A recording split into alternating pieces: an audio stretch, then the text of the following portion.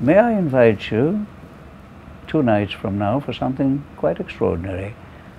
Plato's Apology of Socrates, with me and hundreds of people from all over the world in the middle of the Aegean, on board ship, on the Celestyal Cruises. It's something quite amazing if you think of it. So do come and do come again because we will do it many times.